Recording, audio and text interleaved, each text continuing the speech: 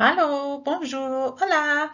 Welcome to Languages. I'm Mrs. Kohler Lewis, Subject Leader for Languages, and along with my team, I'm pleased to present to you the Year 11 curriculum information for languages. I'd love to be fluent in any other language. It's boring, isn't it? Only knowing one language. I do want to travel like quite a bit. It is nice to kind of respect the culture that you go and visit. Most people in the UK only speak English, around two thirds in fact. But a recent survey by the British Council has found one in four people actually regret never learning another language. So what languages can you speak? I speak a bit of Japanese. Yeah, I speak uh, Somali. I speak Patois and a bit of Punjabi as well. I'd love to be fluent in any other language. It's boring, isn't it? Only knowing one language. I would like to like improve my Spanish in the future because I'm not using it too frequently since I'm in the UK. I do want to travel like quite a bit, like when I've got more funds. it is nice to kind of respect the culture that you go and visit. The UK is very multicultural. You know, there's a lot of different languages being spoken. The UK seems like a, a country that's open to learning new languages. So why do students choose to study languages? I have been lucky enough to have four students with me today who are telling you why they have chosen to do language GCSEs. Hi, I'm Hannah. I chose to do a foreign language for GCSE as I wanted to broaden my opportunities to travel and potentially live and work in a different country. I found it hard to pick what I wanted to do for GCSE, but I found that doing a language gives you confidence and broadens your outlook on different cultures. Hi, I'm Jack. I decided to do a language at GCSE as it opens so many doors for the future if you're able to speak another language. It is also a great way to learn more about a different culture of which you are not exposed to. Hi, I'm Daisy. I picked a language GCSE because I wanted to learn a new language as well as a new culture. I really wanted to learn more about other countries and how their cultures are so unique and different to our own. Hi, I'm Laurie. I chose language for GCSE because I believe it's one of the most rewarding subjects. Unlike other lessons, when learning a language you are actually learning a skill that can be used for your future life.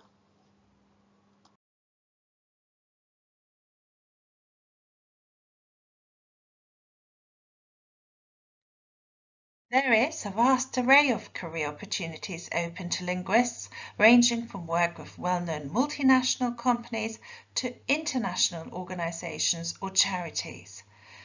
These are exciting opportunities, often involving travel abroad in almost every sector.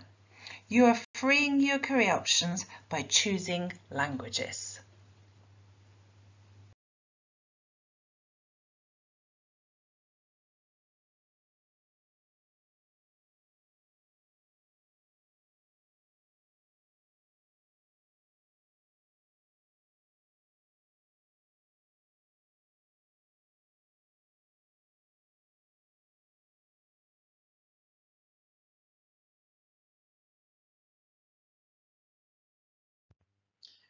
So what topics do we cover at GCSE? Well, the government have come up with a new way of doing a language GCSE which incorporates six themes. These are Theme 1, My Personal World, Theme 2, Lifestyle and Well-being, Theme 3, My Neighbourhood, Theme 4, Media and Technology, Theme 5, Studying and My Future, and Theme 6, Travel and Tourism.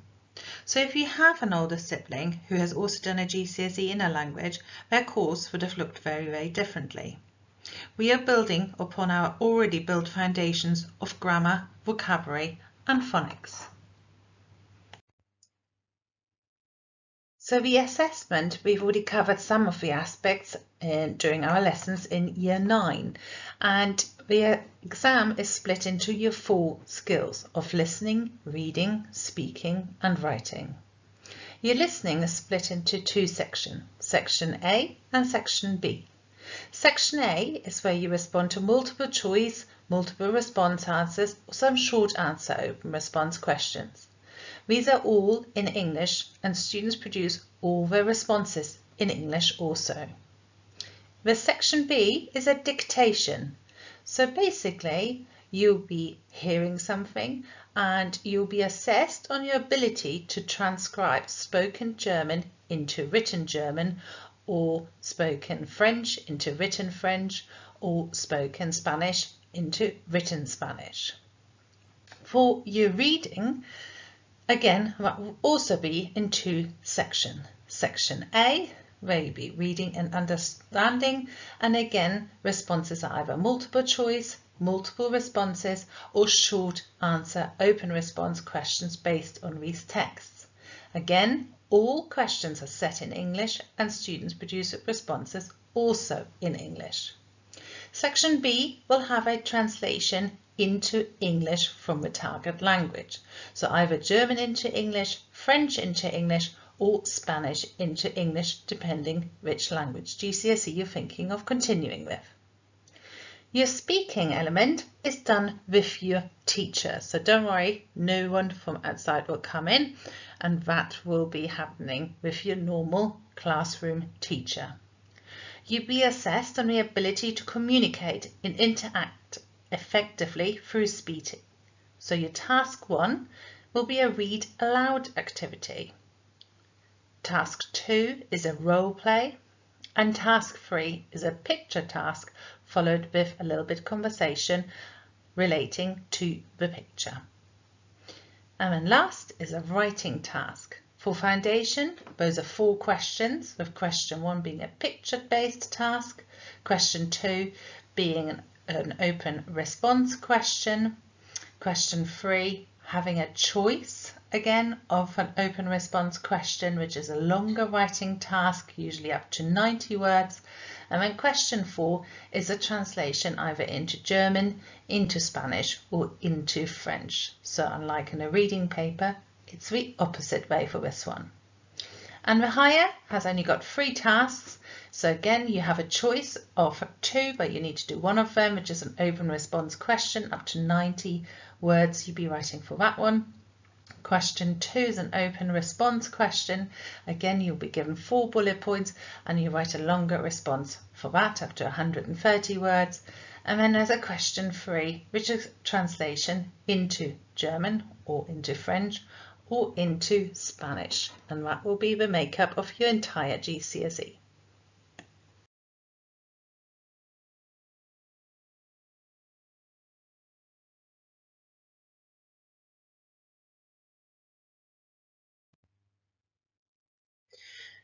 So we aim to cover a theme a term with hopefully being able to complete the course by Christmas of year, year 11 studies, allowing us to keep a remaining time to do a revision and going over previous topics which we may have found a little bit more difficult.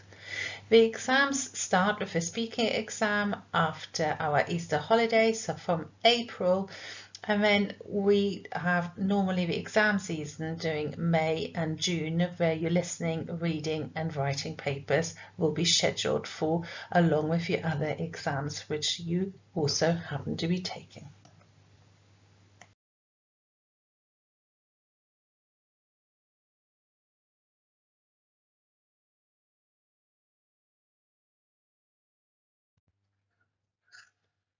So when you first joined us at Coombe School, your language lessons started off on three strands of using vocabulary, grammar and phonics to build your foundations.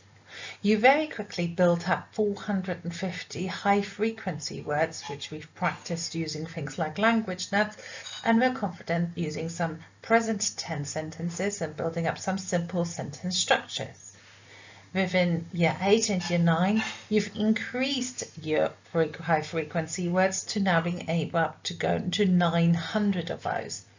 At GCSE, we will work up to those up to 2,000. And those words will also be made up of some topic specific words, but it won't be any more. So those 2,000 words is what our GCSE will be made up of. Within that, we will practice the past tense, the future tense and extended sentences, but we'll also come across some other imperfect tenses, pluperfect, conditional, and some complex sentences which make up the grammar of our GCSE course.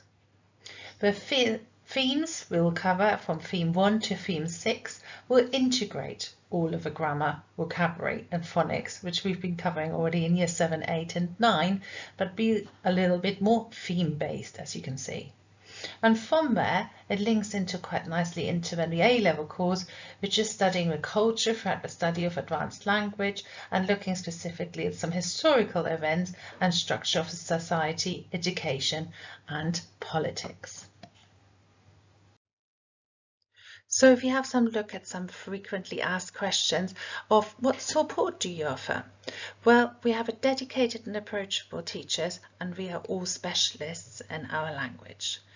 We offer detailed online vocabulary courses and all teachers do regular marking and feedback so the students have known what they've done really well at and what things they might need to improve for some further study.